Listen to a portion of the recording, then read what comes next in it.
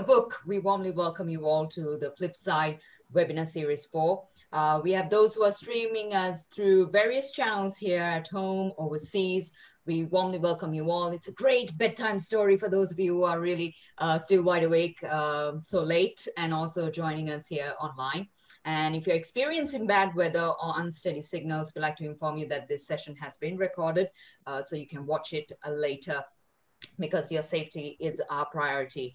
Now, a life without a book, a book actually changes a lot of a person itself. It, it really brings out um, a different stance, changes your mood, brings out a positivity, sometimes changes your mood into the negativity as well.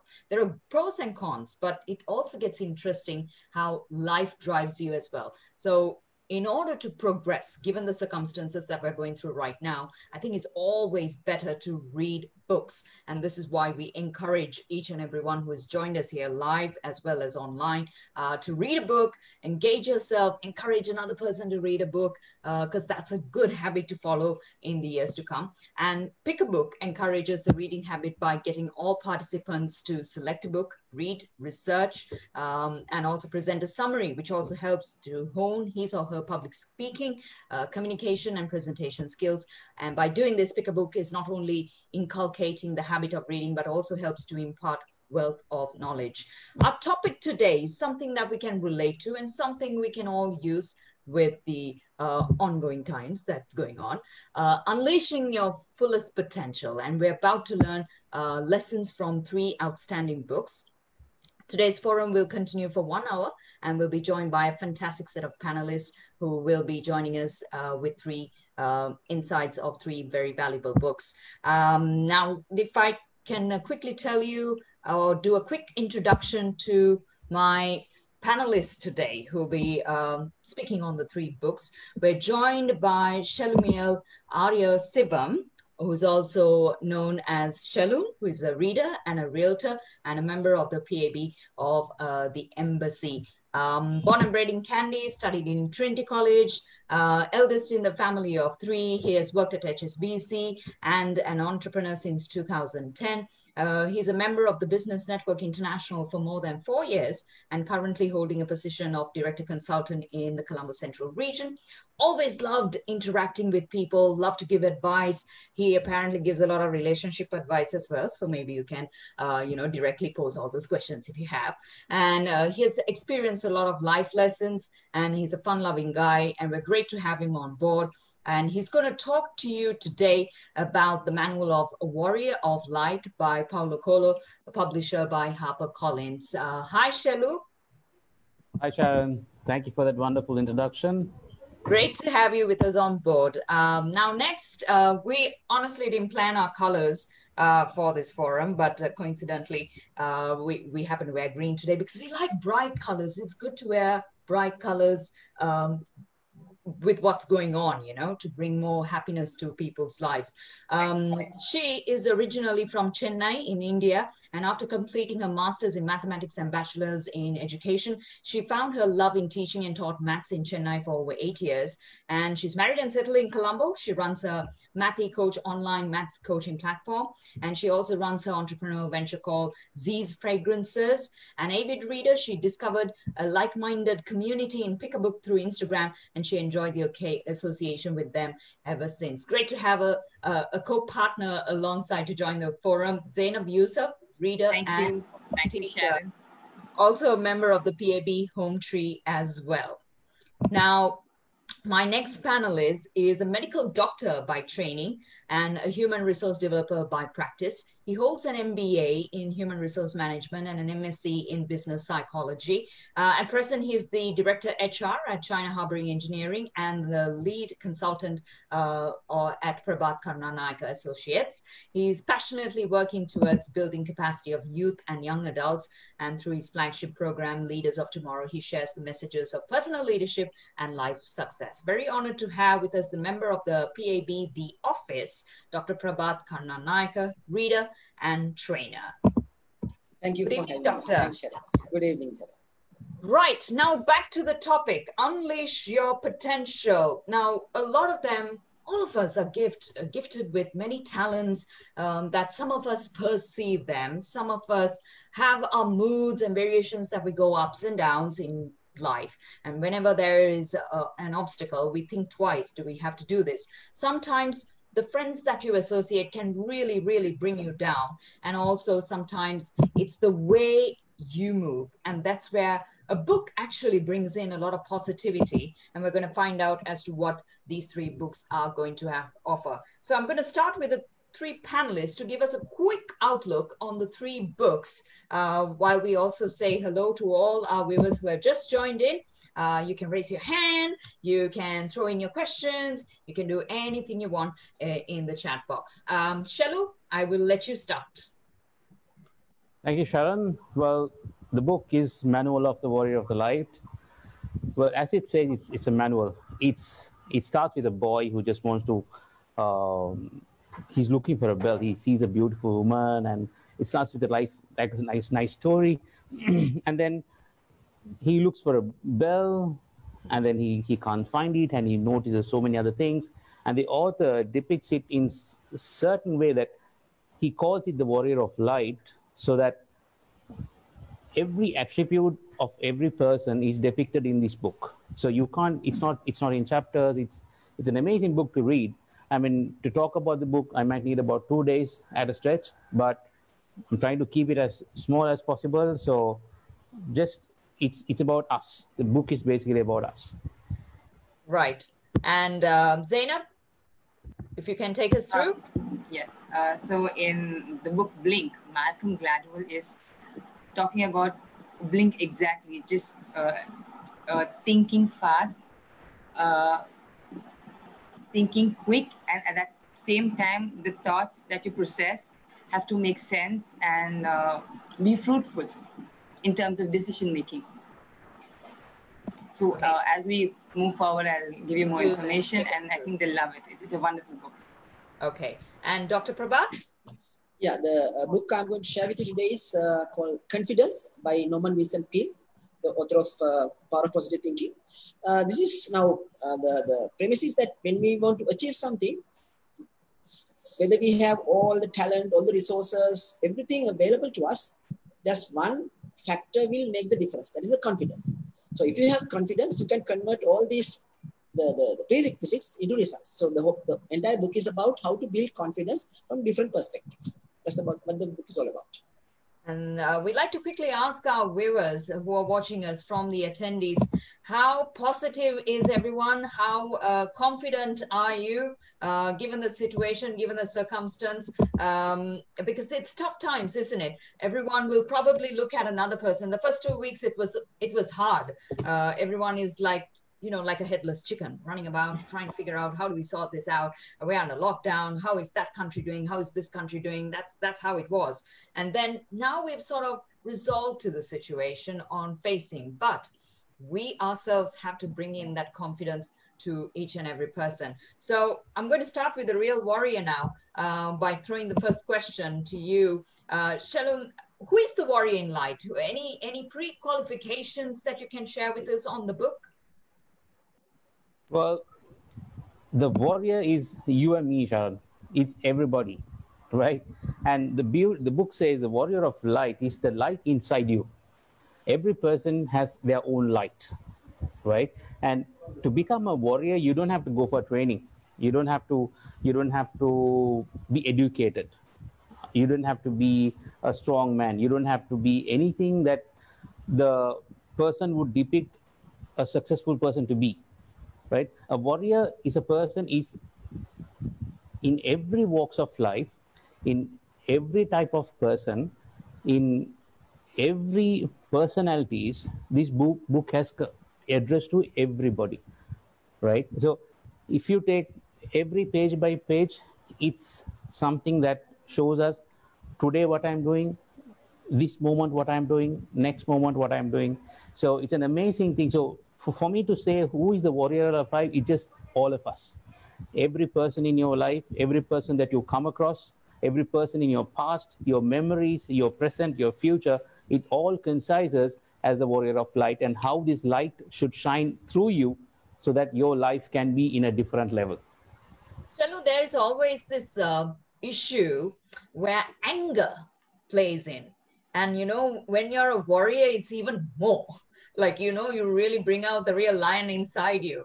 Uh, how does that book explain in, in, in a simple term like that?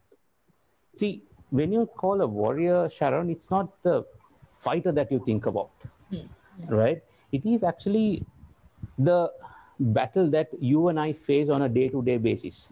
Hmm. So it's like, it's your thought. It's your thought that that you battle with now. For example, let's say I, if I want to say hello to you, you must be ponder. I I'll be saying, okay, should I say hello or should I not say hello? So that I'm not going to say hello to strangers.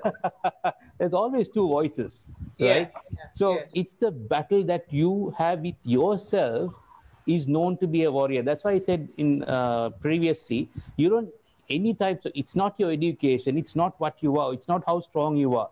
It's just it says how you deal with your thoughts on a day-to-day basis, hmm. right? right? So that will help you to be in a different level. I keep right. on saying different level. That's okay. We, we can start uh, from a different level as well. I'm going to cross over to Zainab now on uh, the Blink. Uh, what is the author's intention of writing this book? What is Malcolm actually trying to say or trying to convey to us? So, in this book, Blink, Malcolm Gladwell's intention was that uh, we're all capable of making quick decisions or taking snap judgments. Uh, and those quick decisions can be advantageous to us and they can be disadvantageous to us. So, three things he's trying to convey to us. The first is that uh, we all make quick decisions all the time. We're all thin slicing. He calls it thin slicing. We all thin slice all the time. We make snap judgments. Okay, and uh, the second thing he's trying to convey is these quick decisions that we make all the time. Okay they can be beneficial to us as well as harmful so we must be very wary of them. How how are the decisions going to affect us? And the third thing he's trying to tell us that if the decisions can be harmful we can take steps to control and educate our decisions. Might seem very weird. How can you control a decision? But yes you can train yourself to take quick decisions that are very careful educated and advantageous to, to us or to all of us those are the three important points that he's trying to convey. Zainab, you said something about snapping. Now, um, I must admit, uh, I snap at times. It also happens with the occasion. And, uh, you know, if someone comes and cr- crashes into your car, you just want to get on with it and take on that anger with that person. But when before you snap at someone, is the book giving a tip on think twice before you snap before, or what kind of a tip does the book say so uh, this snapping is actually the author's talking about snap judgments over Judgment. there. That is make, yeah. yeah. Not the snapping in the literal sense that we come across in everyday life. Okay. So it's the okay. snap judgment that is uh, quick decision making. Okay. Now, uh, thin slicing, he defines thin slicing as you arrive at a decision, okay, but real fast with minimum minimal analysis and with less resources. Generally, when you take a decision, uh, you consider what are the uh, outcomes, the circumstances, how will it affect you, how will it affect your family yeah. or your surrounding. But in thin slicing, you make quick decisions, snap judgments. Yeah, yeah. Okay, now uh, how do we do this? Is we have a, a, a, subconscious mind. It's a locked door inside behind, and uh, it takes things from the environment and it's very good at recognizing patterns and uh, making connections out of it. So this subconscious mind, uh, whenever it's presented with something stressful or something difficult or a new situation, it starts working uh, behind the locked door, and it sends signals to us indirectly. That uh, and those signals tell you uh, or help you make a decision. For example, just to make it simpler, uh, if you see a truck approaching, right? You're not going to sit and analyze, okay, what am I supposed to do? Which direction? You're going to think quick. So your subconscious mind knows that when a truck comes, it's harmful. You're gonna you're gonna die. You're gonna get killed. So it sends signals. Your heartbeat raises. Uh, you get you, you become sweaty. You're you feel stressful. So that indirect signals helps you to take a decision that you have to get out of the way. Right. So that's thin slicing, making uh, sense of the situation with very little information and correctly. Right. And the authors uh, told a very interesting point here that um, the subconscious mind, it can start kicking in and it can take a decision in 10 seconds. Whereas the conscious mind needs 80 seconds to process information and make sense of the situation. The subconscious mind is really fast. And uh, there's, a, there's, a, psychologist called Gottman. Uh, he can just listen to a snippet of a conversation between couples and he can predict the success rate of the marriage. And how long is the snippet? He can listen to a couple speaking for, say, five minutes and he can predict whether the uh, couple is going to be living happily ever after or they need to go find lawyers. So thin slicing is uh, that's thin slicing, right? How can you listen to for five minutes and come to such an important decision about a about a success of a marriage? Yeah, but it's yeah. possible. All right. Uh, we're going to come back to you, Zainab, and ask you more about um, the deciding factor on right and wrong and decisions and uh, various other details as well. But I'm going to go on to Die Empty uh, by Todd Henry uh, on confidence can be defined in many ways. And how do you see um, Henry doing it, uh, Dr. Prabath? Uh, Sharon, a small correction. the book is Confidence by Norman Vincent Peale. Okay. Yeah. Uh, so, yes.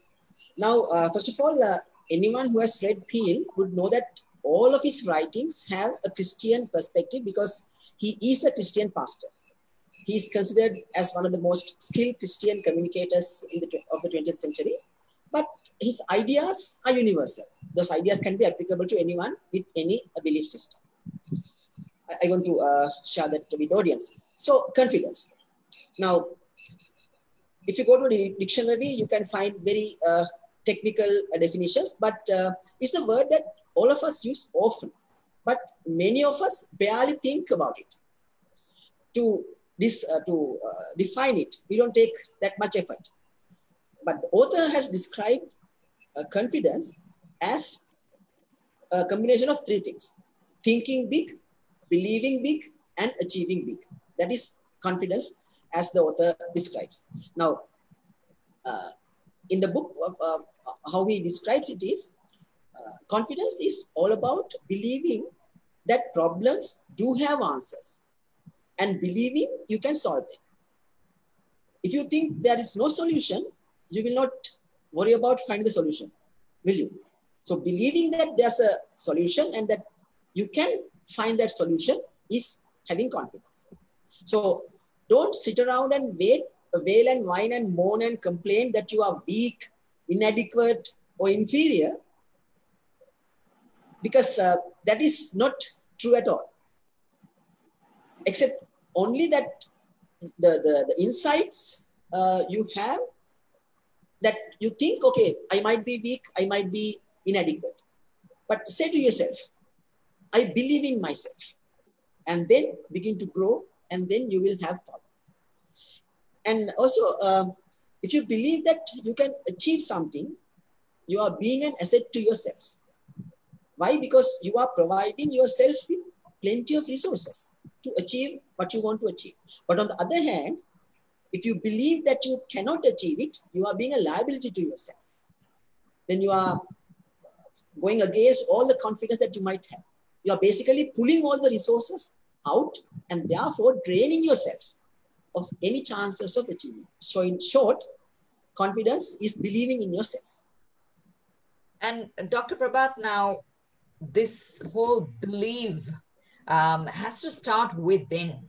But that whole confidence of you know let's take waking up in the morning every day and having that confidence okay you have a positive message coming and somebody will talk to you uh, with a lot of energy a lot of vibrance a lot of happy moods. And somebody will come and bring a full financial topic early morning uh, we need to pay up that, we need to pay up this. That just drains your entire confidence level. And I know we need to read the book to build up, but how do we quickly swap ourselves and, you know, move on with the situation by just like that? Yes. So, uh, according to uh, Peale, the, the whole uh, the secret is being able to see things in perspective. Because now, okay, as you said, uh, you might be faced with a financial issue at the as the first thing in the morning. So then you think, okay, what I'm going to do, my whole day is going to be over. However, uh, what he advises here is to have a very strong belief about yourself. Uh, uh, because again, it's coming from a religious uh, kind of thinking, but uh, we, we, even if you leave, leave out that concept, because when you believe in yourself, that uh, uh, the, the same thing which is conveyed in the book The Secret. When you have a positive energy which is going out from you, you will attract positivity. So the whole thing is believing in yourself. Maybe you are in the in a rut and you think, okay, I can't get over this. This is the end of my life. However, have that little uh, light in your mind, always thinking, yes, this is positive. This is possible. I can do this. This will happen. Then when you have when you have that belief, automatically you will attract all the positivities and all the solutions which will take you forward. Uh, to our viewers, you're probably wondering, we look like traffic lights today. We're only either green or we're red. It's it's it's a complete yes or no go. There is no amber, uh, but uh, it's very positive messages that we're talking on very uh, subjective and timely topics. Um, there is some interesting questions coming from our viewers who are or attendees uh, here. Uh, Sachin uh, Sachin Semage says in the book "Talking to Strangers" by Gladwell, he talks how inaccurate we are in judging people depending on the way they talk and behave. But on the blink, you said we can make a snap judgment without even thinking. Is it contradiction or is there a broader meaning? So um, we, it's as uh, I told that we make snap judgments, we're capable of them. Mm. But whether they are right or wrong, whether they prove beneficial or detrimental depends on how, on your past experiences. So when I when uh, if I can get a chance to uh, explain thin slicing, I can you know touch upon this topic also. Yeah, yeah absolutely. So I'm going to go back to uh, Shelun now and ask him this question. Um, based on the book that's written, would you say that there are multiple messages or a common message uh, in terms of uh, emotions and reactions to uh, one person? Sharon, it is um, it's a common message hmm. for multiple situations, right? And uh, how we to face life as it is. I'll take your previous question about payments. That is the common question everybody has. See, when doctor said like we need to have the confidence, and in this book it says that the warrior of light is of faith, right? There is a there is one one section that talks about he always he uses the sword, but he always goes back and thinks like, what type of an armor should I wear? Right? People would say you wear the breastplate. People would say you carry the shield. But he doesn't listen to anybody. He just goes and he takes the cloak of faith. Right? The moment you have faith, the moment you have faith, you can face any situations. So every situation here I would like to point out uh, there are two things that I like to point out is like when you face a situation over and over again, right? That is something we that's where we get frustrated. We think why why am I facing this situation again and again and again? If I if I had to pay my bills last month, why is it coming again? Why can't I have the enough enough funds to pay it this month? Right? So that situation comes over and over again. It's it's because the warrior of light realizes i mean when you when you when you are the warrior of light when you sit back and meditate you realize that situation is there for you to pass it. How you pass it? To stay calm. This situation you have to stay calm. You have to take, take a step back. Why am i in this situation? Right? And you low hand behold you will get the answer. There will be there will be situations because the warrior of light again it says he's prepared he always improves he improves his talents he he knows what he needs to be done right and one of the greatest saying that i got from this book is the warrior of light is full of gratitude sharon And in this situation, if when we are at home, I know, as you said, first two first week, even I was very worried that I didn't know what I was going to do, right? Because end of the day, it's it's it's it's it's the fear, right? And the moment I start becoming gratitude, I got more new opportunities to do my business. And I, I was successful in my business for the past two months, right? I actually made money, right? So when you have gratitude, things will fall, fall into place. So this, as I said, this is just one com- this common message in so many different situations, right? So, and it's for people who crosses your path, the people who comes in your life, your family, your family, it, so many things that this book talks about. Um, and I yeah. think uh, when we come back, we'll speak a little bit about emotions because um, the levels of anxiety today and depression has gone up. And a lot of them do keep talking about we're going to come out as crazy people uh, being stuck at home. We're also hearing stories about violence at home. Um, so many people at police stations, etc. I mean, if you're watching the news, you know all these facts.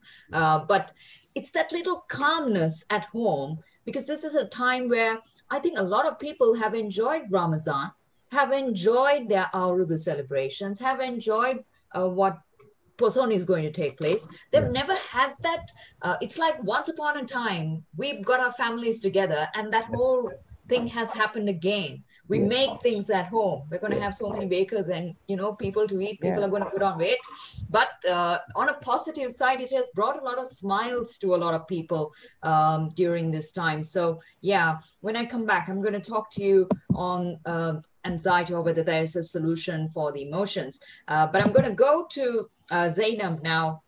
What does your gut feeling say? What is right and wrong? Is it important to think to come to a decision because sometimes Zainab, we don't have uh, time for that. I agree with you. This little signals has to work for us to take a decision. But what does the book tell tell us on that? So um, I would yeah I would first like to say that I really enjoyed my Ramzan at home this time. Like you said, uh, it was different. It was with family. It was close knit. Uh, now coming back to snap uh, judgments and thin slicing and quick decisions it is really important to think and then reach a decision. So how are how how is the subconscious mind working? So now the subconscious mind does not think at that time. Uh, whenever we are in any environment, whatever is happening around us, the subconscious mind picks up in hints, it picks up cues and keeps storing it. Like, for example, if it says that uh, when a car comes and if somebody's standing in the way, that person is going to get run over. So that is stored. So the next time the truck comes, you know what is going to happen. You don't have to think what what what needs to happen. You know that something really detrimental is going to happen. The subconscious mind keeps on storing information all the time. And what information is fed inside is the type of decision that will come outside. So you need to be really, this is called priming what you put inside your mind all the time is called priming, whether you put it consciously or unconsciously. Mm. The way we are primed is the way we reach a decision. Mm. Subconscious mind reaches decisions like that. Uh, and whenever a decision has to be made, uh, whatever we are going through, everything all day, all night, what we see, it starts acting up, it starts playing up behind the locked door, and uh, it comes outside and it gives the signals and helps us make a decision. So the thin slicing works how through the past experiences, through how you've lived all these years. You know, um, a lot of people have gossip, and that's uh, that's a very challenge. You know, sometimes these gossips can be very interesting. Sometimes it feeds way too much of information that you don't know what to pick, um, and that destroys your mind. Does the book give us any insights on that? Uh, so the, uh, the book tells that you have to be very careful about what you put inside your mind because you need to be aware that you are make, making quick decisions. You're thin slicing all the time. You need to be aware of that. So uh, even when you're gossiping or when you're when you're reading things, you need to know what you need to take in. You need to have your priorities right, what to take in, what to not take in. Uh, the book doesn't talk on gossip uh, in particular, but the, uh, the book does talk about a lot of negative issues that are happening and how thin slicing uh, can, you know, uh, make us give a decision or reach a decision that might not be very favorable. Right. Um, I'm going to come back to you, Zainab, and talk right. about the subconscious mind in a very detailed length. But I'm going to cross over to uh, Dr. Prabath now. Um, Dr. Prabath, you said confidence depends on um, the asset, the liability. If you can elaborate on that, because um, it's tough, isn't it? Um, to always put on a, you know, a complete facade to show how you are, and then inside be a completely different person. Probably after a meal, a very happy person, but before that, cranky, moody, all of that. Um, how how does this work? Uh, Dr. Prabath, you're mute, on mute. So uh, the author uses a, a, beautiful concept called whether you are an asset or a liability to yourself. Mm. So what does that mean? Now, he asks, are you helping yourself to live a good life or are you constantly hampering yourself, getting in your own way? So that is whether you're going to be an asset or a liability. So because this is a very serious question because people often are their own worst enemies. Yeah. That is, uh, if you stop to count how many times in your life you have frustrated yourself, it will give you a lot of food for thought. How many times have you defeated yourself, tripped yourself? If anybody else did that to you, what will you do? You, I mean, you will name them as your worst enemies, wouldn't you? But we, without our knowledge, on numerous occasions, we hinder our own growth. So uh, what uh, the author asks us to question deeply is whether you are an asset or a liability. Now, um, because our problems are not anybody else primarily. Our problem is ourselves. Okay, we might get some uh, problems from others and the, the, the saying is that the whole ocean of water cannot sink a ship unless you allow the water to come in. So you have the responsibility. So the you can start by asking yourself the question, am I being a liability for my own success? Now, if I were to uh, elaborate on that aspect, like being a liability and uh, uh, restricting your own growth, uh, let me give you a small exercise. Now, after this session, sit down and ask yourself, what is my greatest weakness? My greatest fault? Do you know what it is? Or has your mind blocked it out? So you do not know what your chief weakness is because our mind is all tends always to rationalize things for own protection, of course, to provide relief from the anxiety of having to face this demon. So we don't see our weaknesses then what happens? Our weaknesses grow into a liability, which will prevent us from reaching the, the things that we can and should achieve. When you really start evaluating, you will know what your chief weakness is. And if you know what it is, and if you want this liability to be removed, it can be. Now, the, the best uh, uh, way of uh, looking at it is if, if, if you take a uh, iron bar and if it is broken, and if you weld it properly, the next time it will not break at the point where it was welded. It will break from somewhere else because you can be the strongest in your weakest place. So you have to think about yourself, whether you are being an asset to yourself to give the confidence to go forward and achieve something, or whether you are being a liability, which will pull you back from achieving the great things, beautiful things that you can achieve. Sharon? Doctor, now a lot of people would be like, I'm this awesome asset and I've got a lot of um, talents. I, I do a lot of things. But then when it comes to multitasking, it goes for a six. How, how do we segregate this and, you know, organize ourselves properly? Now, if, if I take a quick question, before the lockdown, everyone is was on this crazy rat race. Um, it, it, like no time, always tuition and da da da. I I I, I do apologize. The online teachers are having a hard time now, uh, uh, going on constantly being or teaching uh, all the students online. But there is a standard where they say it's nice to teach the children and be at home. So where do we circle ourselves in the level of confidence? Because it keeps fluctuating, isn't it? Yes, now uh, let me take the first uh, segment of the question which you raised about multitasking. Now, if you really look at the neuroscience, this is not, not from the book, just uh, from uh, some other uh, subject area. But it's what neuroscience says is you practically can't multitask. What you're doing is you are quickly changing between things uh, yeah. in short duration. You can't do two things at the same time. So you do this for a, uh, a millisecond, you change over to the other one. That's basically what multitasking is. So the, the, the reality is when you add uh, more um, uh, multiple tasks on top of each other, the efficiency of all of those things would fall. So the best thing is focus, complete that, remove it, then go for the next one about that. So that's about the multitasking and about this, the, the whole thing about how to, uh, the how confidence links to yeah. the, the balance of these things. And uh, basically, um, uh, if, if you take the example of education, uh, I, have even written a LinkedIn article on that.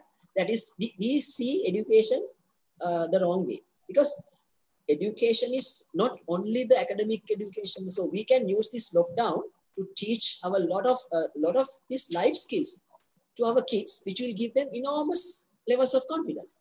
Maybe, as you said earlier, maybe do some baking, maybe uh, some other things, gardening. So those things will the life skills will give them way more confidence than the academics uh, academic uh, things can do because academic things are targeted to the exam okay you pass the exam fine but you won't carry that confidence to your life but life skills which you can definitely do during this lockdown will add a lot to your confidence um, I think next time when I eat and text someone, I'll be concentrating on this. Which one should I do first? Or which one should I yes. do? Uh, um, uh, Shelu, there is a question for you, and that is: Is there a moment in your life which you could share when you when you first had this aha moment, when you took a step back and saw uh, your solution? Um, Gokula Arya Lingam, thank you very much for sending in that question. Shelu? Thank you, Gokula, for the question. He, um, well, there are so many moments in my life from the time I was schooling and up to now but I would remember two specific occasions. That is when my uh, when my elder daughter was born. When I first first saw that moment, the moment she was born, everything was worth it. Up until then, the struggle, everything was worth it, right? So, what I learned there, there was anything is possible as long as you're patient, right? So that was a really aha moment for me. And the next one is during these COVID times. As I said, the first week I was like, I didn't know what what's going on. I was like in a in a moment as if is my family going to starve? Literally, I, I didn't I didn't know what I was going to do, right? But the moment I just took a step back, I just sat and I I just let go. I said even if I stand on my head, I can't do anything else because everything is under lockdown. You cannot possibly think of any solution so the only thing I did was I just said, God, you take over. I can't do this. And I just let go. At that moment, the opportunities that God created for me, I actually started a new business entirely out of my out of my uh, forte. It's completely new to me, and I was successful for the past two months, and it is continuing. So that's that's that is my moment. I would say when you actually step stay, take a step back and let go and then let universe handle it. You're in for a ball. Has the book connected to this little idea that recently helped you? Well i read the book after. But see this the book talks in so many places like that. The warrior when he goes for the battle right he he goes in one one force and then he realizes i can keep on persevering but I might lose this battle. So he takes a step back. He takes a moment, he re strategizes, he waits for the correct moment, and then goes into battle again. what it shows is like you cannot do everything the way your mind processes you have to let let the subconscious take over the moment you let it take over because what i believe is your subconscious is really co- co- connected to the universe because that is one thing that you are not in control of right the more because and if you see even now when i am talking to you there must be about million thoughts that is going through your head. You have no control over it. The yeah. only thing you can control is how you react based on that thought. Yeah. So, so the that's the book says you take take a step back just calm yourself down and the light in you will really shine. And uh, Shelu, now with this period, uh, in relation to the book, there are different emotions that it speaks. Um, if we have to elaborate the reactions which affected you or what made you feel most, which is relevant to you, because uh, a lot of people we meet tell us they have anxiety shocks, um, like a different feeling, and you know, you go through this uh, real rush where you want an answer, you want to react, and that it, things that never was in your body just started reacting in a very different way. Number one could be anger also. I don't know why it's all with A's, anger, anxiety, uh, uh, arrogance, all of this. Uh, but uh, in relation to the book, how, how does this um, sort of bring out a message? Yeah. I'm glad you asked that question, Sharon. Uh, see, I believe there are two two types of emotion that rules everything right? That is the root cause of everything that you that you uh, come across in your life. You can you can think about it you can meditate, meditate on it and see which is fear and love. These are the only two emotions that controls everything. See if you take a person who is angry a person who is anxious a person who is arrogant the root cause of that emotion is fear. He's scared he's going to lose something. Yeah. Right? He's arrogant because he's scared he's going to lose his position. So he wants to defend his position in some way so that he's putting that block in front of him. He or she is putting the block in front of them. So when you have fear, your entire system goes wonky. You take bad decisions, you talk in you talk arrogantly, right? Because it's a defense mechanism. That's when, when your system is detecting a threat. When there is fear, you detect a threat. Because you are you are a primal being, right? So you are like an animal deep within inside. So you are ready to ready to attack the fear. You are ready to attack that unknown enemy in front of you. So you're you are in that state. The moment you have love, it's it's completely the opposite. See, there is uh, that is a religious book. I, am I'm, I'm coming from a Christian background, so this was really uh, I'm not promoting religion here, but this is a very uh, general term that will help in every every every person. When there is perfect love, there is no fear, right? So this is something which I always work, which I always think about, right? When when there because love is an ultimate power, mm. ultimate power which helps you to get out of every single fear out of you. The moment you do that, you're perfectly a calm human being. You're not a perfect human being, you're a calm human being. Because you cannot be perfect because of the thoughts and every information that keeps on coming inside you. How you handle it is through that unconditional love. Uh, when I say love, it's not just going hugging somebody, not being lovey-dovey. It's, it's, it's a it's it's a it's a it's a power. It's how you gratitude, how you, giving, gratitude, giving, yeah and it's, yeah. it's a whole new it's, it's divine to be honest mm. so that's that's what is the basic emotions that, that to answer to, the, to your questions uh, I'm going to come back uh, because the, one of the challenging tasks that we've seen through a lot of people is that they've lost jobs. And we know that this is a status which feared a lot of people. Um, some of them are very angry about it. Some of them are very disappointed. They're broken if they've taken loans. This is really, really something that's crushing them down. So maybe when I come back, we can elaborate uh, how to bring the warrior back to life. Uh, but I'm going to go back to uh, the blink now before I blink. Um, uh, Zainab, can you elaborate uh, more on um, the subconscious mind, the significant influence on our thinking without us being aware about it? How how do we sort of not that we can concentrate, but how do we see it in a diff, uh, uh, in a lengthy way? Right. So uh, it's uh, now I, I was uh, fully into Shelu's conversation. It's all going into my head now to come back to Blink. Positivity coming yeah. all the way now. no, it's doctors' conversations also going on in my subconscious mind now. Now, so uh, how the subconscious mind works is, I, as I told earlier, it picks on cues from the environment and keeps storing it inside. And this is called priming. How we prime? We listen to our parents at home. Those conversations in our head through the social media, through the news we watch, through, the, through what our friends do, through what the politicians do, through uh, through the movies we watch. Constantly, information is being there. It's it's it's getting stored every day, all day. Uh, so this this information that's stored behind, okay, is uh, this is called priming, because what priming does is it it drills your thoughts or it takes your thoughts in a particular direction so uh, just to show uh, how it's going to affect us is uh, if in my house, just as an example, out of the out of the book, we constantly talk about the color, of a significance of, of facial color or bodily color of a human being. Tomorrow, if another person of color is going to come in front of me, I'm going to be very prejudiced against them. That's called priming. So priming is what you put in your head directly, consciously or unconsciously through whatever is happening. The books you read you're consciously making an effort to read a particular book. That's affecting your thoughts, the kind of people you meet, the kind of circle you have.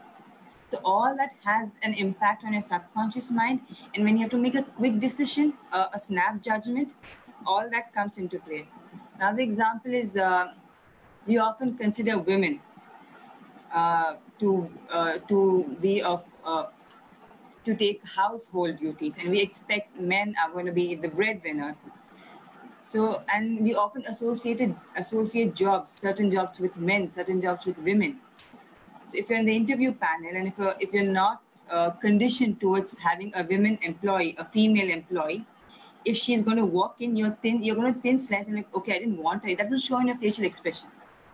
So you have actually um, thin slice. You have made a snap judgment based on your past experience, based on your thinking, based on your priming and that facial expression is definitely definitely going to be seen by that candidate and that's going to you know it's, it's going to be a circle it, that that negative uh, cues are going to be picked up she's going to feel uncomfortable the same thing like you know you know george floyd it's like going around right now about how he was uh, subject to humiliation subject to death because of his color so uh, all that happens because of priming. We have we grow in an environment where we think that if somebody is of African American background, and this the author talks in the book also, that how in the U.S. often African Americans are subject to uh, discrimination.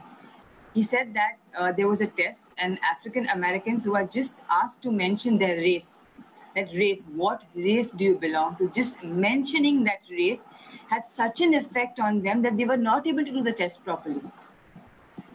So uh, that that one word called race has primed in their mind, and all that they've been seeing uh, all through the years about how race has uh, held my uh, my community backward comes into play, and uh, you make the wrong wrong decisions are made.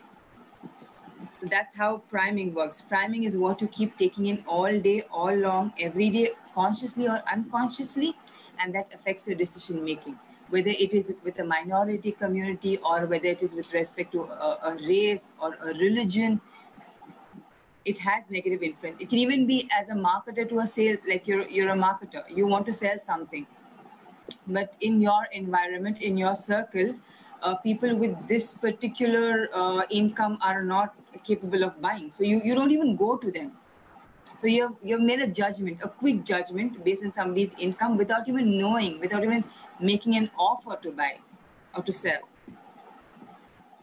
And um, I was going to ask you this question now. Um, there is a lot of people who share good positive insights, uh, sharing, caring, and all of that.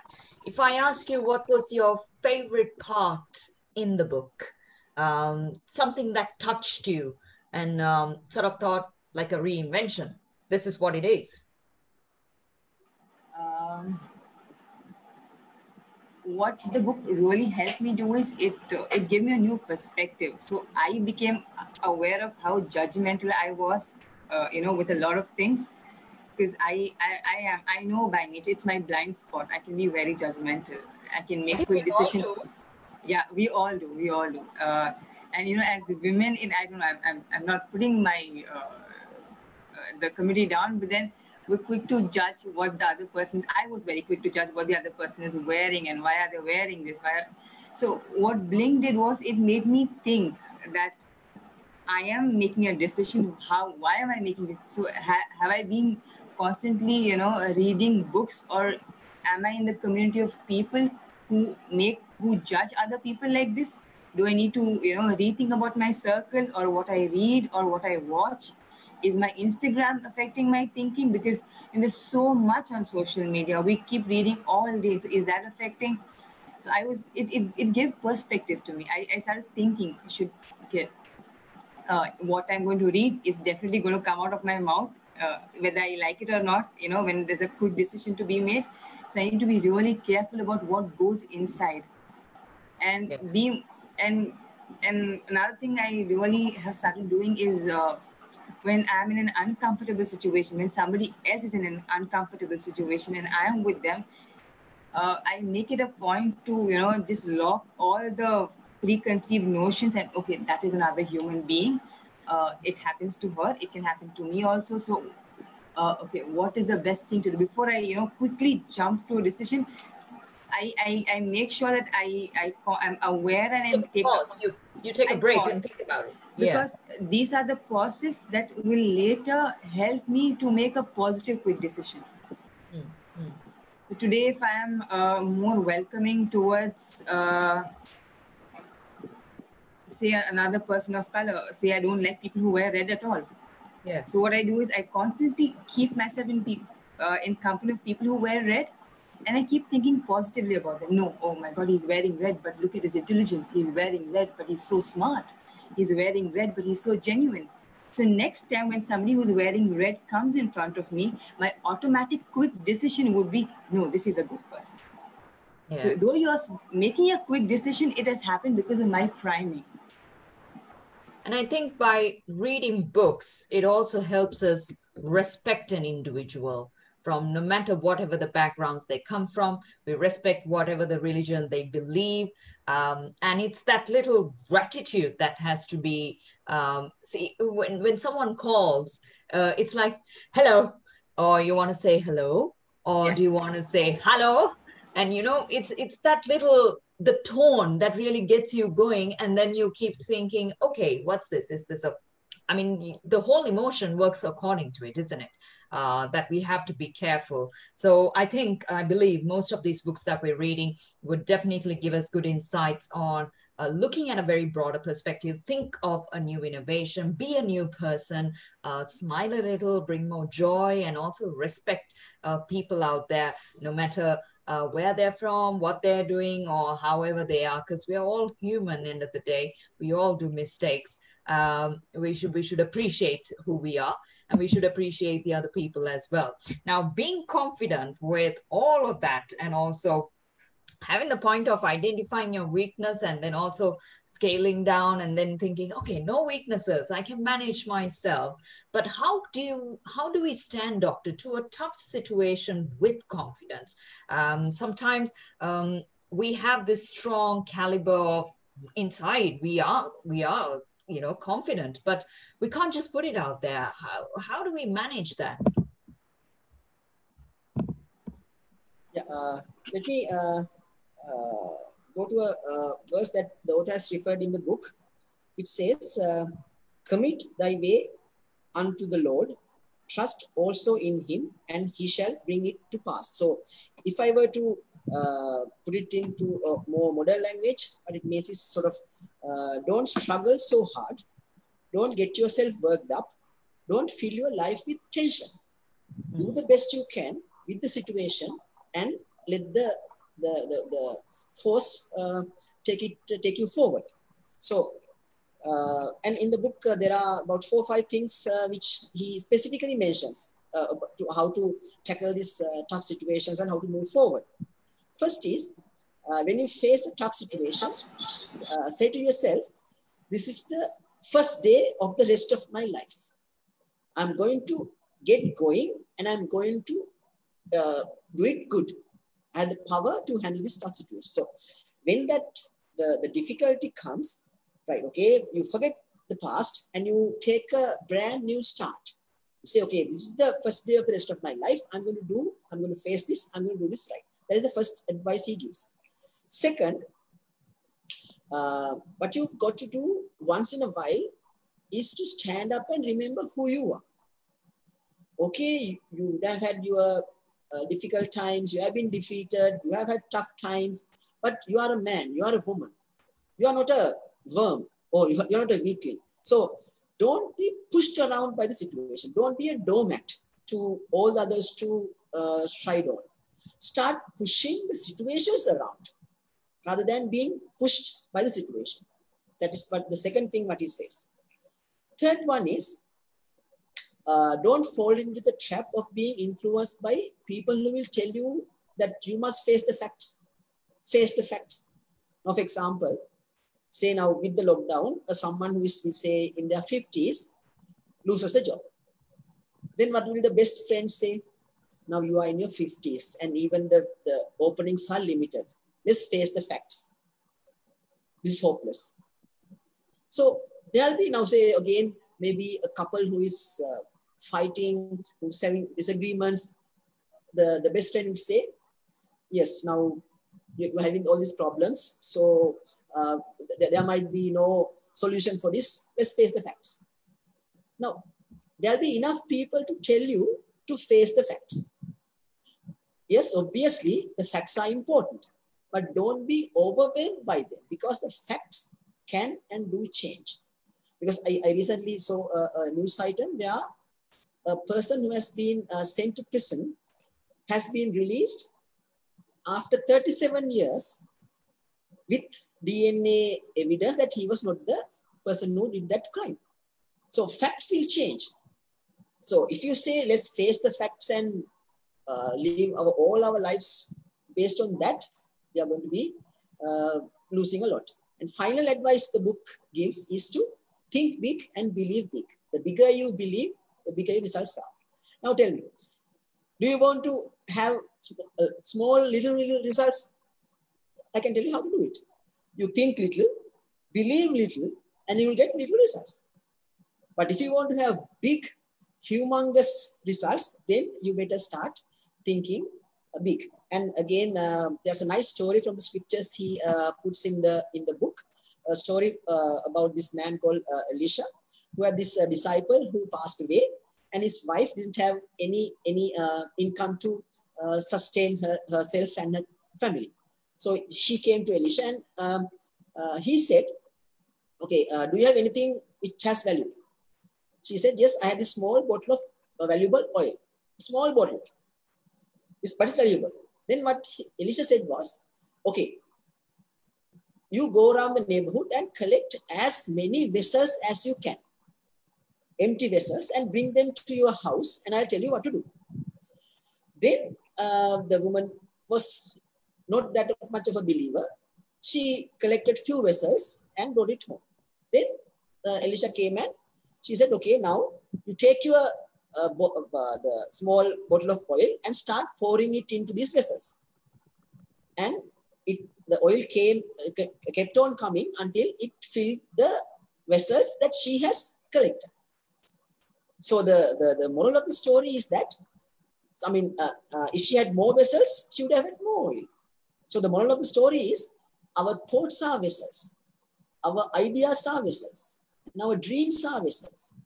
And depending on how big we make the vessel, you will have limited resources to fill the vessel. So the, the, those are the four advices he specifically gives how to face this tough situation and keep going. Over to you.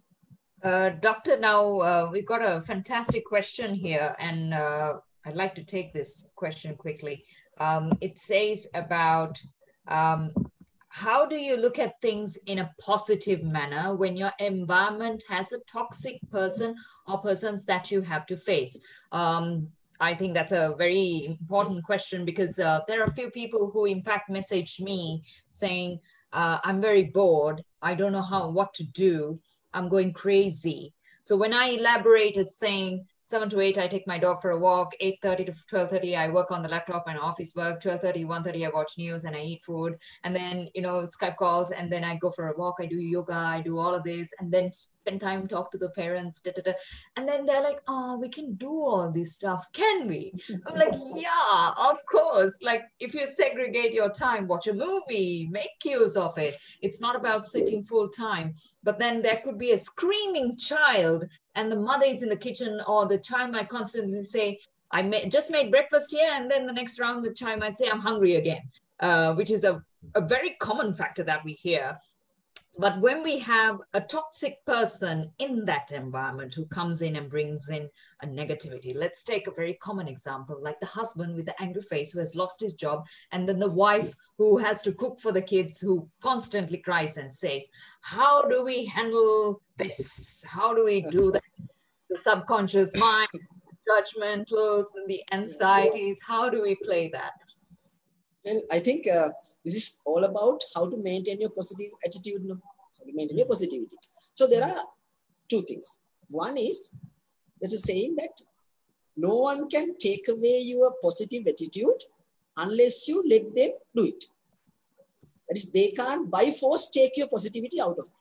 So the, the first part of the question is that how to uh, prevent these toxic influences getting into you. So I, I, I, would say you have a very thick skull that the, the, the, whatever the things which comes just bounces off or from this year and goes out this year. Now that's so, very hard for us. so exactly, right? So the, the again, uh, what I learned from this book is uh, to have having things in perspective. Because uh, I think you would have seen this uh, meme going around uh, social media saying that, okay, uh, if you have a bed to sleep, if you have clothes, if you have a roof above your head, you are uh, more fortunate than 75% of, of, of million people in the world. So like, I mean, when we get into the, the problem, we don't put it in context. Our problem, it might be a small one, but it's huge. So uh, when you put things in perspective, I think uh, that also will, will come with a lot of mind mind training. I think uh, with a lot of mindfulness and a lot of uh, maybe a bit of meditation breathing. So you can make your make your uh, skin thicker uh, to all these influences. The second side of the attitude the equation is it won't last forever.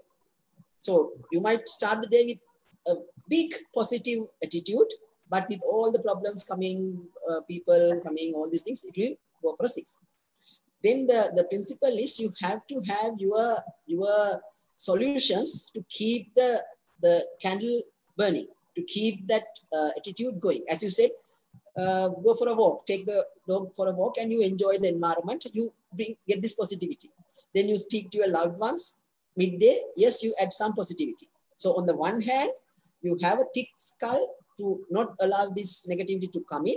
Second one is to have your small routines. It could be your yoga, as you said, it could be your exercise, it could be your time you now these days uh, we have uh, uh, fixed time, maybe nine to 10, all of us sit together and do some board games. So that will give the, the, the positivity. So it's, it's, a, it's a matter of constantly putting something positive inside as well and uh, reanalyzing ourselves in how we approach, isn't it? Correct. Yes. Um, Shayla, do you have any uh, thoughts there? Would you like to uh, share some insights there to that uh, question?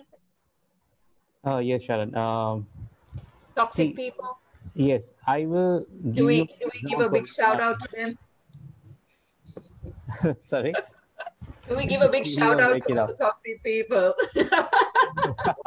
yeah. see, I will give you a real life example. Okay. So there's something which I, I always say I learn a lot of things from my wife. Okay. Yeah, I'm not I think that's it, the best decision you ever took. I'm not saying it just to flatter her. It's like, I'll just give you a, a small example. She is a person who does not like to argue. Mm. Say, basically, even if I want to argue, it just stops in a sentence or two. Why? Because she she feels that that person is doing what is right for them, what they think that is right, and I am doing what is think that is what I am what I think that is right, right? So even if I am going for an argument, she says, "You you let's talk later because you're thinking you're saying what is right for you. I'm thinking what is right for me. So this is not the best time to talk." So the best thing is, I've seen her literally talking to people when they're negative. She hangs up the call right she so i i learned a lot of things and i also get so many calls. And this the covid time is the best time where even men gossip. I mean there are good gossips and bad gossips right? We get into this because with so much of free time we can talk about the government we can talk about the family we can talk about the children whatnot. It's all rubbish right? But there are even I also fell into that trap. But sometimes when the, you're conscious, when you want to really do well, it actually helps you. It actually reminds you you're going out of the track. You're going out of the track. Your subconscious is an amazing tool, right? The moment you say that, okay, you can talk something, you can talk something positive and then cut that call off. As you said, talk about your schedule, talk about what you are doing, right? So that your positivity will be shared with someone else. Into, in, into them. So yes. that's that's so sometimes that's the best thing we can do. And I, uh, sorry, over to you, Sharon. I was yeah. taking the other question. That's all right. Uh, my question to you on uh, regards to the book, because we are also sharing good insights on real values and also how to be very positive, uh, which would unleash your potential, which is our topic for today. Um, what would you say uh, when it comes to the fact that in this corporate or personal environment, how do we embrace ourselves? How do we prepare ourselves for this? Yes. See, it's a, it's a lovely question. See, I would ask all viewers and attendees to read this book because it gives so much of insight in both areas, right? When you take this book and when you read it, it looks as if, you know, it's just a, you know, just something for a normal person, not for a corporate person. This book will really help a corporate person to a very, very uh, amazing level because you every day they meet so many types of people. They meet good bosses, they meet bad bosses, they meet good good colleagues, bad colleagues. When I say good and bad, I'm not being judgmental. It's how they affect your emotion right? If the, and you and you need these people to move yes, on with that struggle exactly it? exactly how they affect your life. If somebody is irritating you well that's the place you, you you can really work with right? You know what my wife used to say if that if that person is irritating you it's not that person's problem it's your problem. Problem. Right because i need to work on my emotion. I yeah. need to change my perspective. The moment i per- change my perspective i look inside of me that light that the warrior is the author is talking about when i look at my light and i act upon that light even if it's your personal life or your corporate life you are going to have a, a beautiful lifestyle. It's not it's going to be challenging. You will have your set of issues but the way you react it will be amazing. People will start looking up to you. People will say how do you do that? How do you do this? How do you do that? So that's that's how amazing this book is. And uh, that's that's what it that's what it's all about uh, sharon. So it, it, it, it does not say it's for personal people or family man or a corporate. But it, it's from even from the ceo even for the domestic this book will help. Because everybody is a warrior of light. You are a warrior of light. I'm a warrior of light. How i perceive you and how you perceive me is oh, it's it's all about that it's not only for a COVID patient or during COVID times as no. well. It's going to be a book that uh, yeah. sounds very amazing. Um, I'm going to move on to um, Malcolm Gladwell's um, probably the last question. So priming seems to be uh, rather powerful, but how does priming work when it comes to judging or making a decision, uh, Zainab? Now, uh, priming, as I said, it's really powerful. It's, uh, again, I just like to repeat that priming is what you put inside your brains all the time and keeps getting locked up. And it comes out indirectly when the situation arises. Now, uh, experiments have proven uh, that if you uh, if you ask somebody to be a professor, they automatically become smarter. They act smarter. uh, there's one very interesting experiment that I would like to share over here just for better understanding uh, about how important priming is. That uh, uh, one study was done, a group of students from New York. The New Yorkers, they're fast, they're quick, they have very little time for anybody else. They need to keep going all the time. So what they were done is they were divided into two groups. The first group was primed with words like patient, wait, soft, uh, by prime, I mean, they were not shown the, those words per se, but they were given a paragraph where these words are, you know, somewhere inside. Uh, the second set of students were given were primed with words like fast, quick, anger, frustration. So they were given a paragraph where these words were hidden inside. The two groups of students, one were primed with patient words, one were primed with uh, fast or no time words. Uh, they were are they were told that you read this paragraph with the prime words. Then down the corridor, there's a professor. Uh, he will give you one very important experiment. You're supposed to do the experiment. Now, what the professor did was he acted like he was very busy. He called a fake student inside, and the fake student was supposed to keep asking questions. And the students who were primed, they were supposed to stand outside. The only thing the professor wanted to check was uh, those who are primed with polite words, are they patient? Are they standing outside? And those who are primed with words that meant anger or fast, or did they interrupt the professor in between?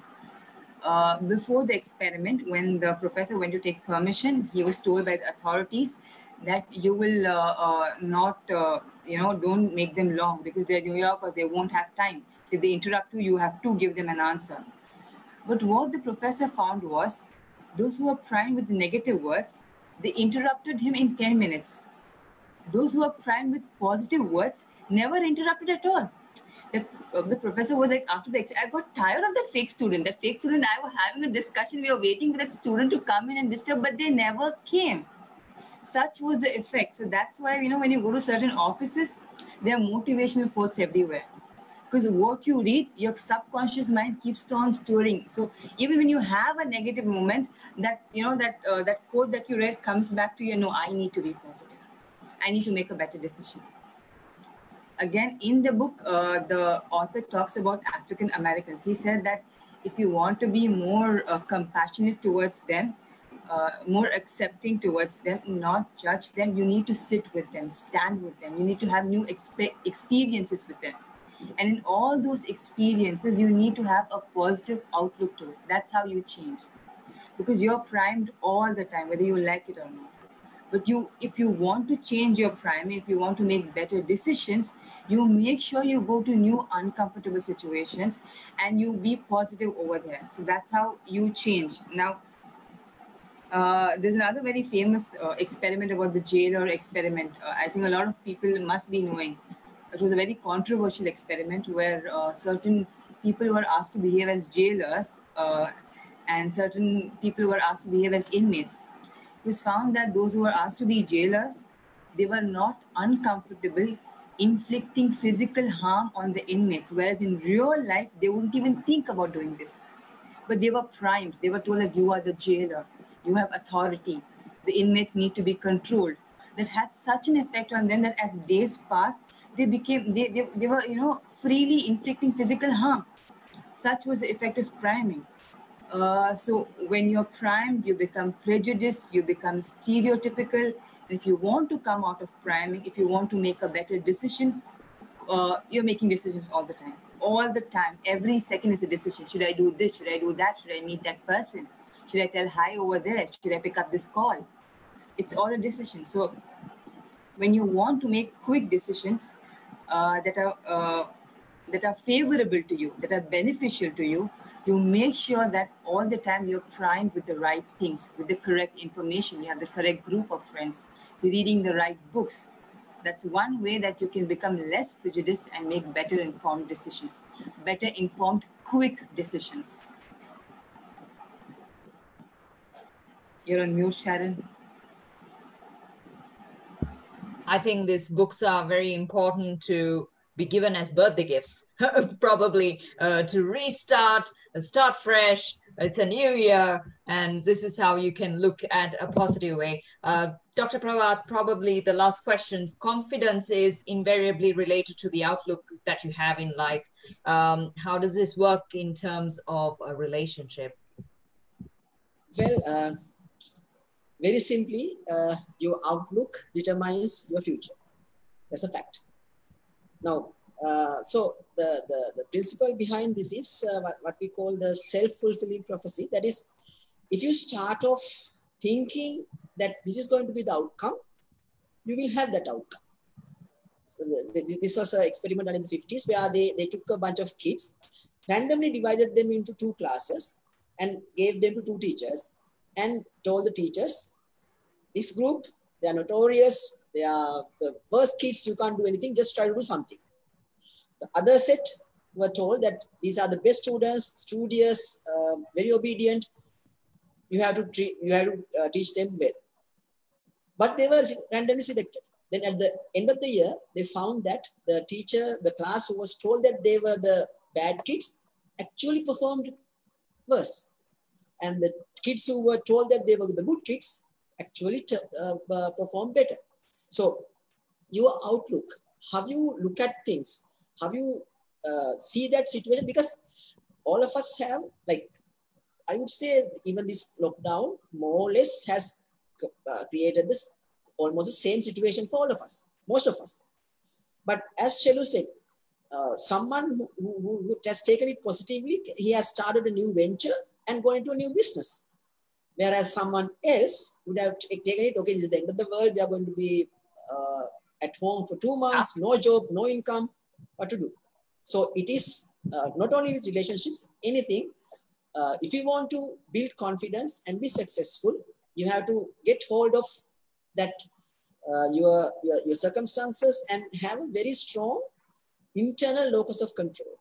I am in control. Not let others, other forces or situation or your planets or whatever influence your life. It is you. So when you have that strong internal locus of control, yes, uh, you can achieve miracles. Uh, thank you, doctor. Thank you very much for that. Uh, I think I missed out on one question, and that was um, probably Bisa's question. What's your advice for someone who finds it very hard to make a decision that is beneficial for him or her in the future?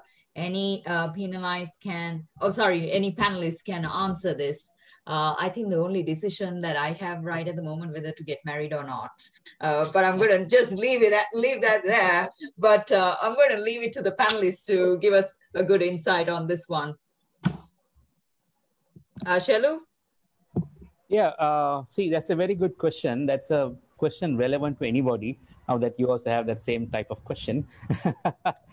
see, when you have that question, whether am I making the right or the wrong decision? There itself, it shows that you're giving room for your thoughts. Because when you get that confusion, it's it's the it's the information that you get from outside. Some people, friends must be talking, a media must be talking, something that you saw somewhere, some experiences that went through life.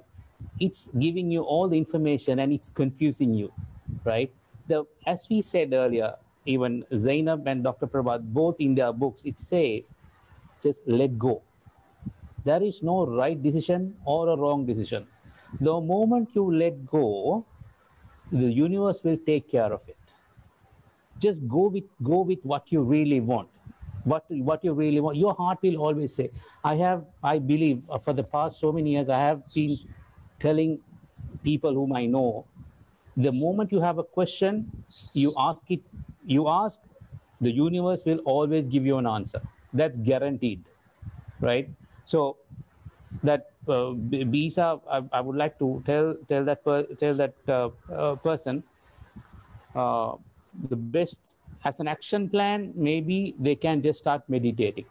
There are so many meditation uh, helping videos on YouTube, right? There are you can say just to relax yourself, just to relax you don't have to even worry about making a decision just let the meditation guide you go universe will guide you and you will automatically you will let you will be led to do the right decision read this book it will give you a lot of answers. Start with the book and the meditation. You will you will hit it.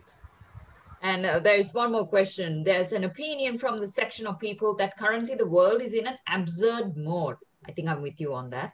Uh, the absurdity could uh, could of one's perception, yes, but then living in the midst in a challenge which thrust upon you took for opportunities or ideas, um, the, putting it out to the entire panelists. Dr. Prabath, would you like to comment on that? Yes, actually, uh, when I saw the question, I was very happy that uh, this kind of a question has uh, come up. Now, uh, can you uh, change someone else? Very simple question. Can you change your children? Can you change your husband or wife? The basic question is you can't. You, you can change yourself so that the other person sees the change in you and maybe change accordingly. And another thing is you can't motivate someone else. Only self-motivation is there. You can create the environment for the person to get motivated. So the, the question for that is, you can't control the world, you can't control what is happening. Only thing in the entire universe you have full control is yourself. So dig deep and look at yourself. As uh, Shelu said, okay, look for other options.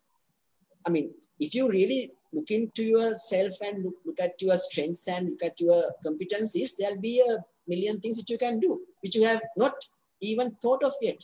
So forget about the absurdity, uh, forget about uh, what Donald Trump is doing in the US, forget about all those things and focus on, on the only thing you have control, which is you. That is my advice to this question. Right.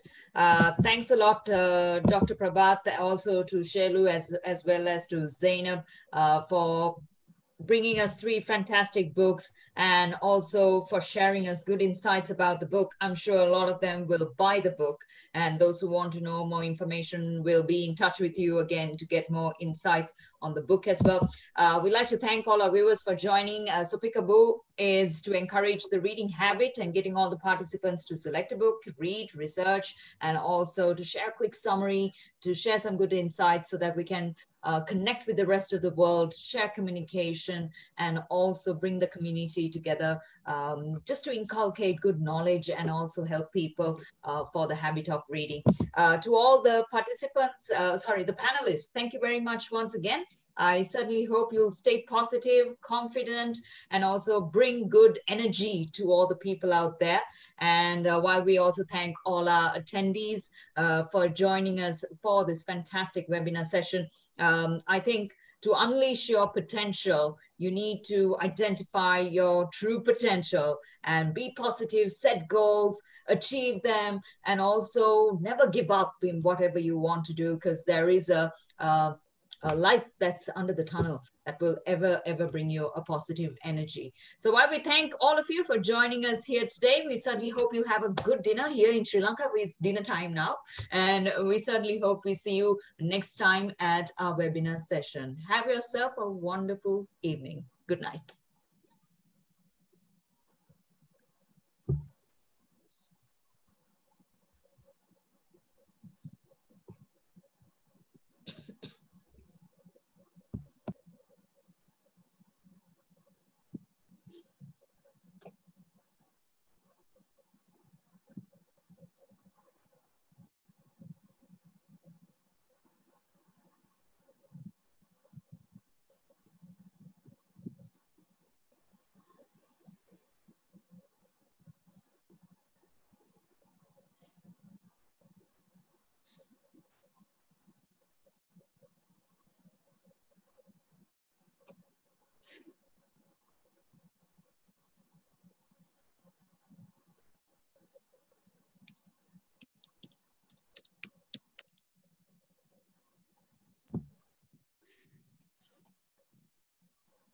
Ta-da! See you all. Uh, nice meeting you, Shan. See you. Nice meeting you too. See you. Take Thanks care. a lot. You too. Bye. Bye. Bye, doctor. Bye, Shelu. Bye. Bye-bye. Bye.